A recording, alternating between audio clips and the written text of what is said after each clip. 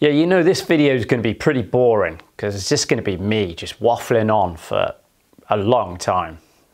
Unless you own a transporter or are thinking of getting a transporter. That being the case, you're going to find this video pretty interesting.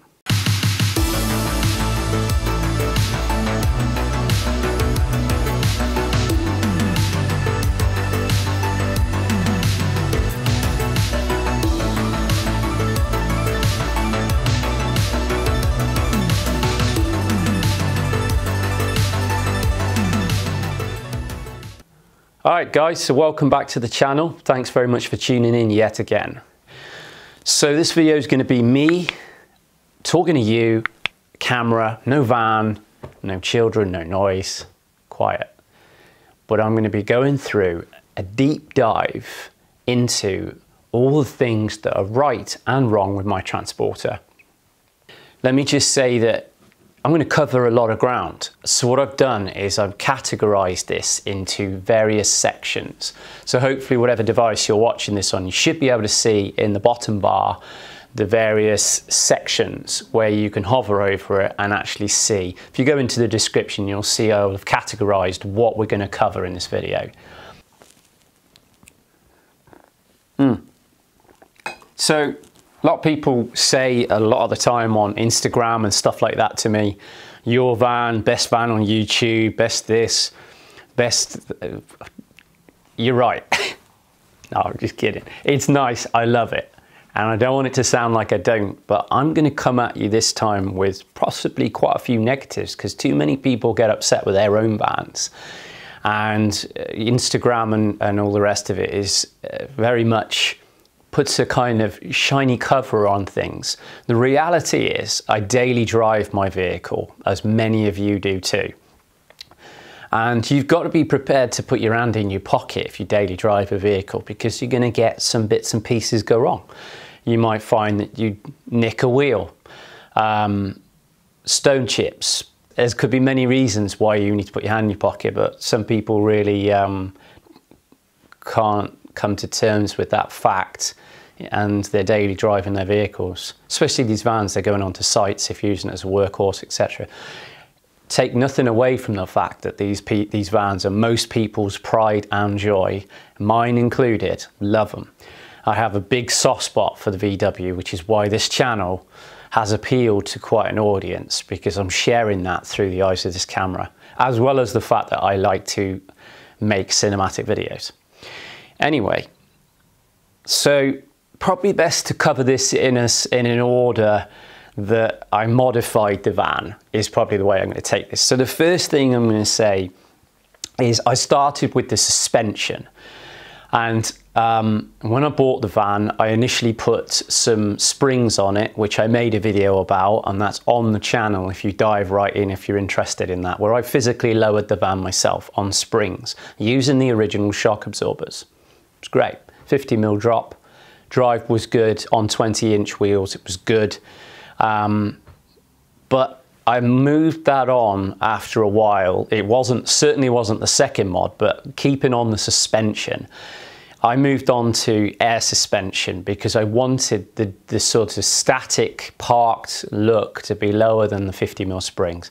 But I did need to be able to adjust the vehicle so we could go camping in it and do everything or daily driving it. So I might just come around a corner and there's a huge slope and that front Sportline bumper is just going to ground out. So the air suspension allowed me to bring that look down a bit for parked or if I knew the road was smooth, I can drive it that low, etc. Um, but also be able to just air out, air up. But the air suspension didn't go quite to plan. Um, there's an entire video on this too. And um, I cover the fact that when I did the air suspension, I got into some wheel difficulties. That, be, that being that the wheels that I had on the van at the time I had it, um, the suspension installed, were quite wide and they did slightly stick out the arch. So not realizing that you needed to air right out, with the air suspension, which part of the calibration process. The wheels were going to be too wide, so I needed to swap those. Um, but that's probably just down to not really forward thinking. And a lot of people have learned from my mistakes. I know that because you've actually commented or messaged me. Um, but after driving the air suspension for a period of time it has actually gone wrong um, there is um, not in a way that the vehicle hasn't been drivable. I need to say that. It's not let me down. But the control panel is basically not working now. I can push these buttons. And there's only I think one button currently working on that control panel. And over sort of a process of maybe three stages because it flickers a bit at night as well um, that control panel seems to be faulty and I do need to get in touch with um, Airride to airlift whatever to see what uh, what the next steps are to get that resolved. I can operate it from my phone through Bluetooth, but obviously I just uh, I need to get that fixed. So there are some problems with that. Um, the other problem that has happened while I was daily driving the vehicle is uh, hit a slightly large bump. Uh, I don't think it was a pothole, but the um, uh, one of the near side um, top mounts completely gave way. I did um, manage to crawl home. It wasn't too bad because I didn't it didn't bottom out or anything, but clearly it was not good. And um, limped it home, got home, and uh, after checking into it, the top mount had completely gone through. I do know that this is actually quite a common fault when you've lowered your vehicles because the stress that they're under and stuff like that. It's only rubber. It's like a big bush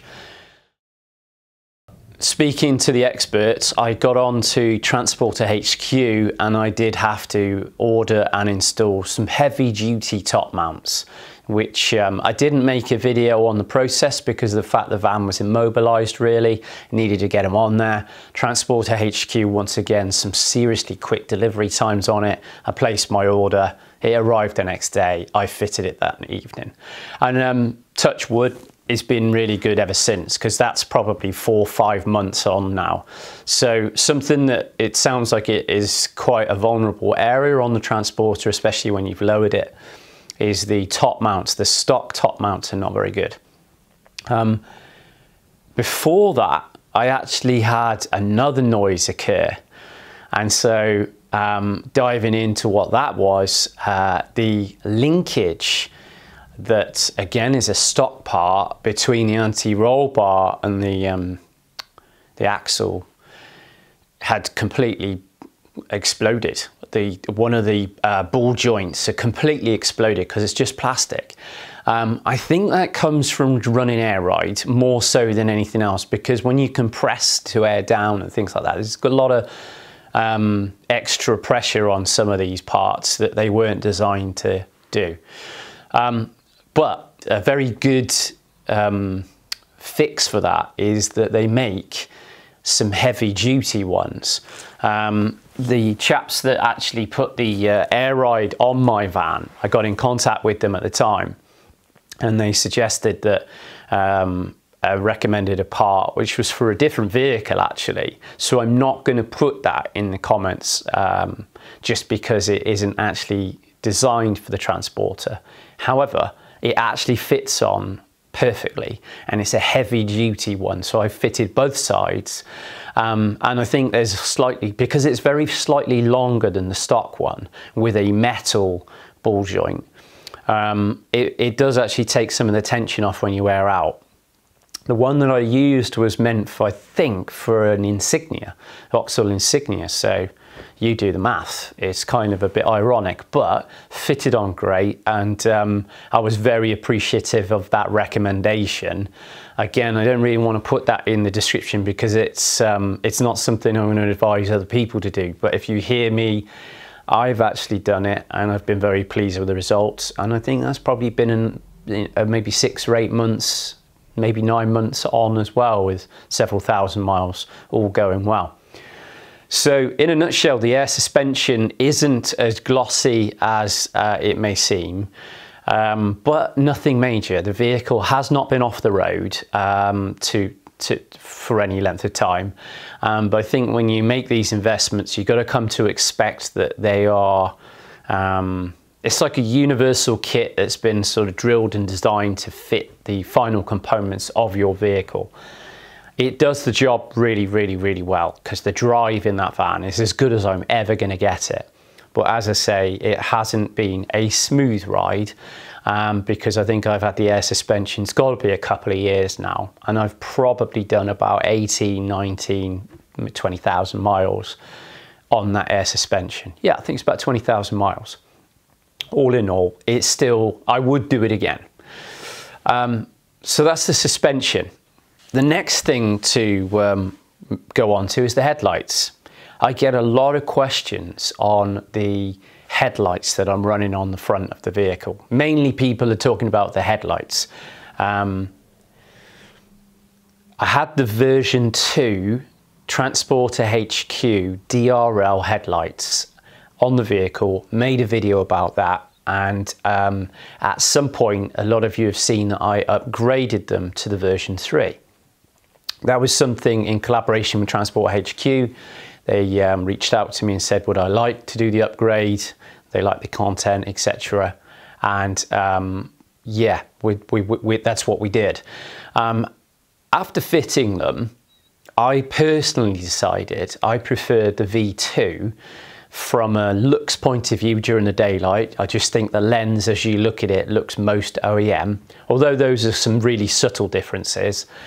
Um, but my main reason for wanting to go back to that is because I really like the sort of staged sequential indicator, bit of an 80s man, and it kind of fits me.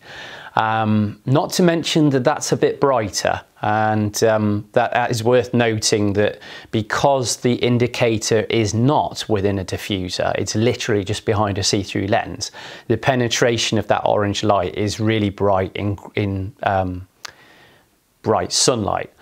So there was about three reasons there, I think, why I switched it back. Um, have to say though, the illumination of both models is, is, is, identical. So the dipped headlights and the main beam is on the very same platform as far as I'm aware and what I could see. So whatever bulbs you're running in those lights, they are going to be illuminating the roads on dipped and main beam in exactly the same way between the version 1 and version two, uh, version 2 and the version 3. It is purely the indicator and the DRL day running light thing that changes. That's all it is. Um, so that's why I went back to the V2s. Just love the way that indicator does that sequential look. So they're back on there. Um, the bulb that I'm running in there is the H7 LED unit from Transporter HQ. That is a game changer it on dipped headlamp driving it's really really good compared to those terrible stock headlights that the van came with i know everybody knows that the problems out there with the stock lights they're they're just for such a massive headlight i don't understand why they can't throw light out but I don't know, I'm not a light expert, but these ones are much better at doing it in dipped headlight driving. And because of that prism lens on the front, the LED um, lamp is not road legal, you see. That isn't actually a road legal bulb. But because it's behind that lens, the MOT side of things, I have had an MOT done on that vehicle. It's had its first MOT in September last year and it went through at a main dealer, no problem whatsoever. I think if there was a problem with one of the bulbs, like it was flickering or it had gone out and they, they tend to look in the headlamp to see or something like that, then there may be a fail there. But because you can't actually visually see it, there's no reason to assume that it's not legal.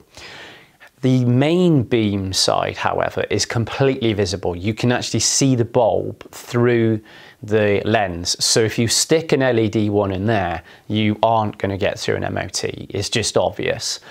But because of that, the, the main beam side of the light is only a little bit more advantageous than a stock headlamp. So hopefully that's going to give you a strong uh, reflection on the headlamp units that I've swapped out on my van of what you could expect if you buy them. Overall, never had any problems with them.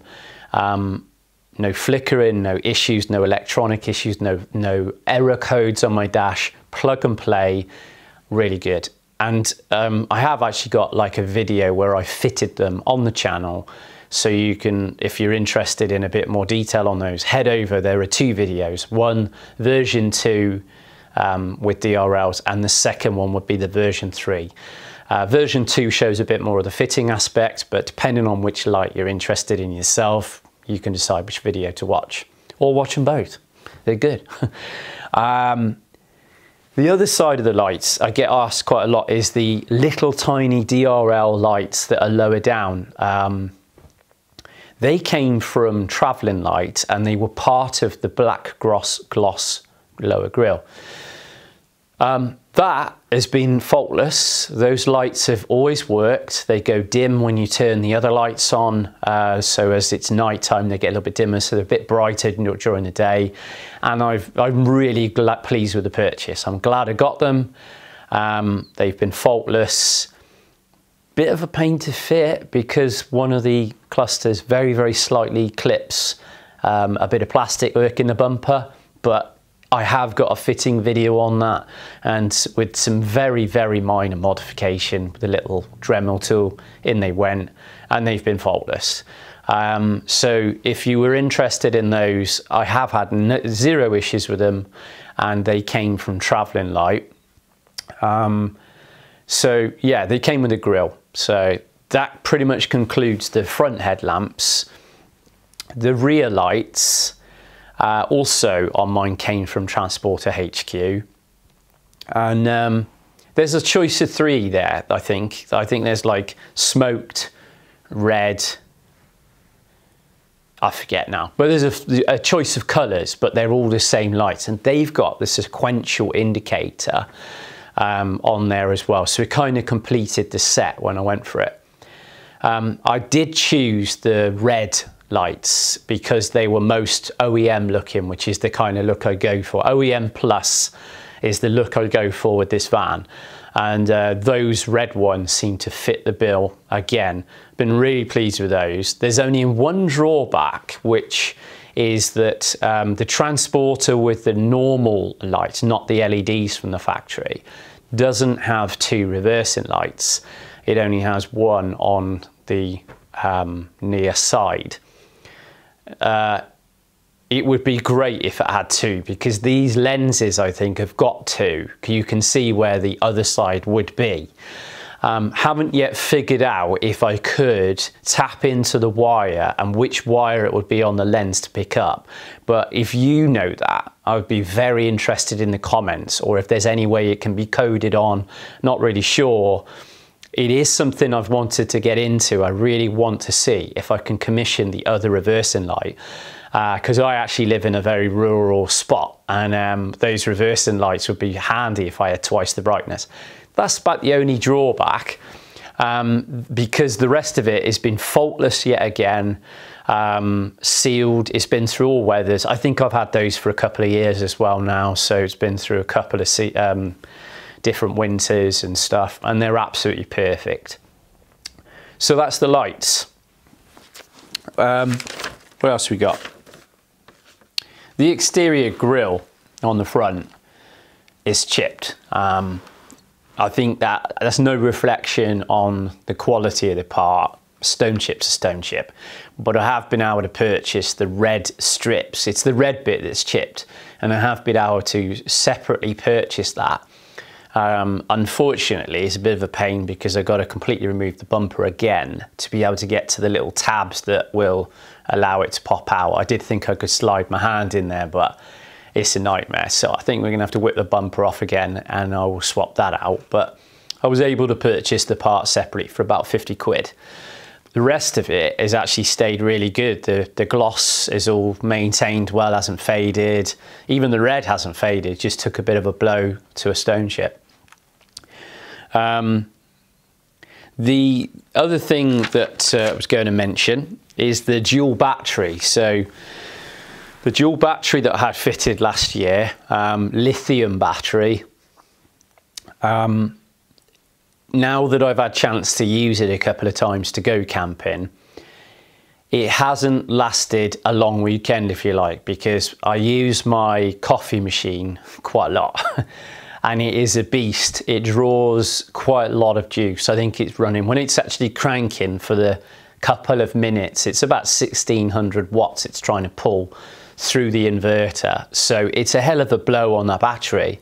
But being as I drink a lot of coffee, I can see that from if I wanted to do a completely off grid um, long weekend, I would run out of steam before, you know, if I went Friday, Saturday, Sunday, Monday, that's too long. I get two days, but I won't get three.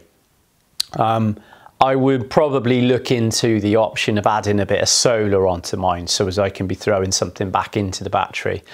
Currently, I, I just have the battery and I have that charging off the engine with some um, Victron clever magic that's under my passenger seat. Um, so in most cases, that battery is probably going to be absolutely fine for people because you're not going to be trying to pull 10 coffees maybe over a weekend through it like I do. Um, but if you do, that battery is not going to have enough in it to keep you going for the whole three or four days. Um, generally, for lights running the TV, the fridge, it's excellent. And I've been really pleased on that front. Um, so I'll probably look at investing in solar power this year for um, putting some charge back into that battery. I mentioned the fridge. The fridge that I've got, because a few people have asked me which fridge is it, um, I'm going to put the model across the screen now because I don't know. but I do know it's really good. I've been really, really, really impressed with the um, amount of energy that it uses to run, but more so that more than anything, the how fast, if I go to turn it on for a camping trip, within 30 minutes in any weather, it's down to temperature. Um, it's obviously going to use more juice to do that, but once it gets there, I think it stabilizes and maintains. It's just low, it uses very little energy, so it's really good on my battery. And it really stays nice and cold. So it's a Dometic, um, and it's the chest type freezer but it's it's it's absolutely awesome. So I, I, I would if they still make it because I've probably had that about three years now. I would highly recommend it.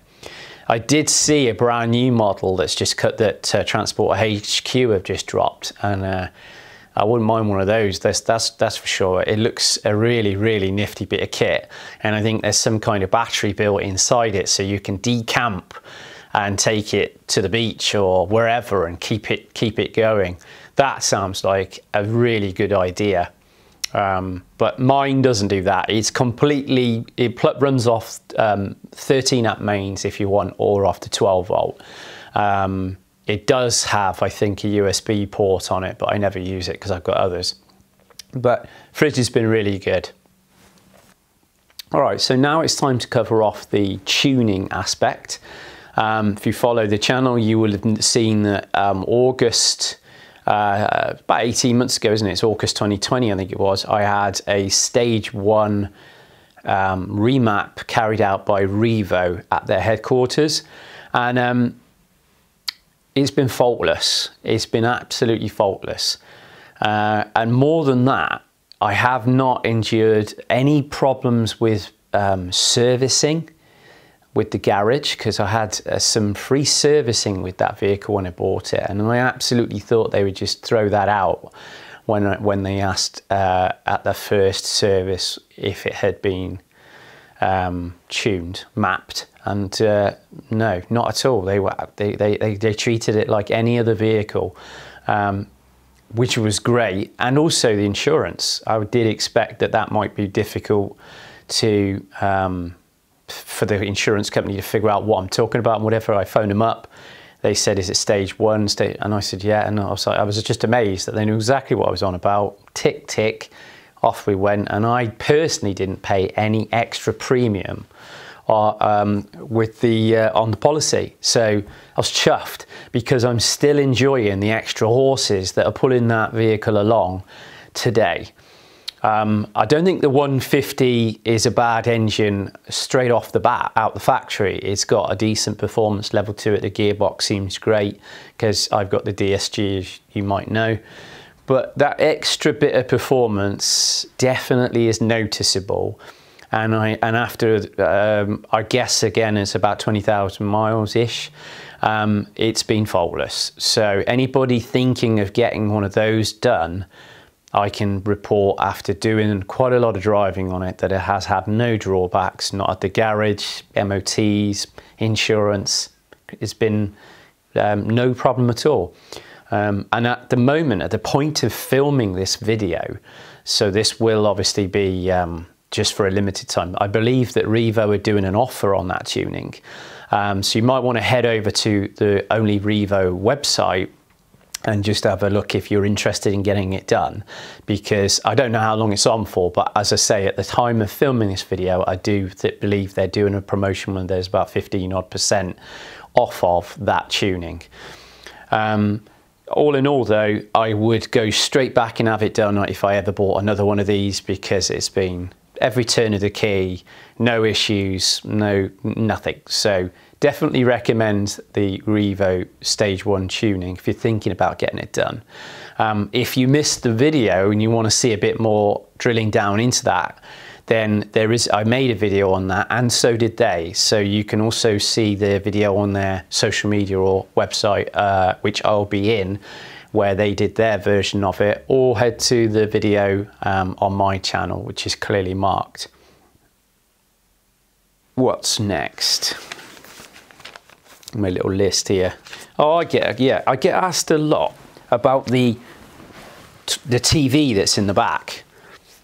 Not the flip down, the smart TV, the 12 volt TV. It is a 12 volt TV made by Sharp.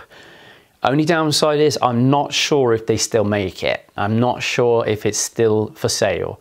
Um, the TV um, runs off 12 volt. It's got a really good TV reception. So when you pull up somewhere where you're not completely secluded or covered by caves or something, generally um, where you may not get a signal on a, a, a run-of-the-mill TV, that one seems to, to be really good. There's this tiny little uh, aerial that I just pop out, magnetized to the roof, and basically the whole van becomes the receive the antenna.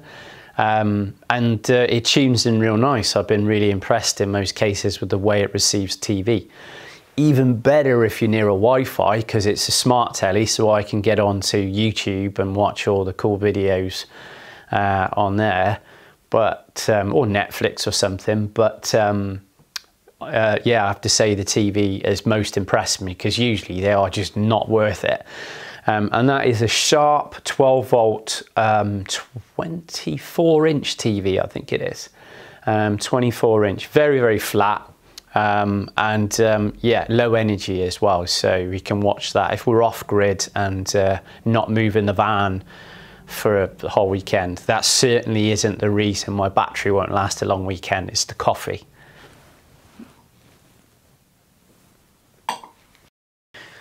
Some things I was going to cover that I've done in there that I would possibly change is um, the roof I carpet lined and um, after some time with that I would have preferred if I'd used the Alcantara suede. I'm probably going to change that at some point so that's probably going to be a video that comes to the channel when the weather's nice because I'm thinking of doing a slightly different lighting configuration um, I'd like to put some more lights in the front um, because when I spin that seat round, that passenger seat, if you wanted to read a book or something, you're not sitting in the lights that are running off that circuit. So I was thinking, because they're so slim, those lights, if I could get two more of them, um, that it might be good to put them just in front uh, as you turn the seat round somewhere in front there that would also come on. Um, maybe even on a separate switch, I don't know, so that if you were, because sometimes the kids are in the back, we'll be driving along and um, they'll might be doing something, they can have those on while I'm driving without me, it really sort of dazzling me um, or, or causing me any issues with driving at night. Um, if they lit up as well, obviously that would stop that. So I'll possibly put another switch on that where I could have them on as well, or just those two. Um, but that's something I would have changed basically. I would have put two extra lights above the driver and passenger seat so that I can illuminate that area as well because I do sit there at night and uh, so yeah. The other thing I'm going to be doing to the van to moving moving forwards is I still need to get the rear uh, seats designed by somebody and um, like I'm thinking of a nice cushioned purpose built wraparound. Um, so if anybody watches these videos, watching this, knows somebody that can actually build or um, fabricate something where I can make a nice base cushion for an L-shaped sofa and then a back cushion, drop that in the comments because I'd be really interested to hear of somewhere I could go to, um, somewhere in the Midlands ideally, but other than that, I'm prepared to travel, um, that does that and uh, could provide that service because I haven't actually done anything in that area yet, but do need to get that sorted. Um, other than that, I think, and the reversing lights, which I was keen to hear if anybody's ever managed to get that reversing light to work and which wire it would be in that cluster, let me know because um, I would, uh, or if it's a coding thing, whatever you know on that when you've had the non-LED lights from the factory and then you install the Transporter HQ lights into it. Uh, how, if you've managed to get your reversing light working, I'd be really grateful to hear from you on how you did it because that will be something I'll make a video on. So it's definitely something I'd like to do if, if it's possible. Um, but other than that, I think I'm going to draw that video to a close. So as you, as I said, it's not all gravy. Sometimes there are things that go wrong and you've got to be expected when you modify a van to those levels to sometimes pick up a bit of a tab to re-renovate, re uh, whatever you want to call it. Um, but overall, I don't think I would change anything I've done about my vehicle other than those things I said I'd change. um, but there was nothing major there. I've been really pleased with everything else. And uh, hopefully that's also answered a lot of people's thoughts or questions, especially on the headlamps, because I get that a lot. Um, if there's anything I missed out that um, you'd like me to make a further video on in this fashion, drop it in the comments below. I will add it to my list because I'm going to do a Q&A in the next um, couple of months. Um, I will probably take some questions on Instagram and in through the comments of here, gather it all, and I'll do another Q&A because quite a few people have asked me to do another one of those. Um, if you don't follow me on Instagram, uh, be grateful if you want to. Head over at T6 Project, and um, there's loads of imagery and content on the van on there as well. And um, typically a lot of people message me in loads of different ways facebook here instagram the number one way to reach me is always on here because i do go through the comments and that's my first port of call I do go through the DMs in Instagram, but I get a lot of spam, so I don't go through them daily. And sometimes those messages get lost in there, so apologies for that, but it's just so much to go through. So if you're on YouTube and um, you're not subscribed, either leave leave those messages in the comments on the videos if, if you can, uh, or even better yet, subscribe but I do go through them. So as a second port of call, if you're not able to put a comment on the YouTube video, then just bear with me and hopefully I will see your message on Instagram. Facebook, I don't really do that much uh, in the way of message checking on there and stuff like that. So it's probably not an avenue I would take to get hold in touch with me. Um, stick to YouTube first, Instagram second. Other than that, I'm going to wrap this video up. I really appreciate you watching. If you got all the way through, fantastic. Um, if you want to see more videos like this come to the channel as well as the variety of videos I make, drop that in the comments. Be um, very grateful to hear from you. Please do share the video if you thought it's any good. Give that thumbs up a, a tap. And um, if you're not already subscribed, you got to ask yourself why not. It's free and I'd be sure grateful if your subscription help me reach that 10k target. Thanks very much. Take care. See you in the next one.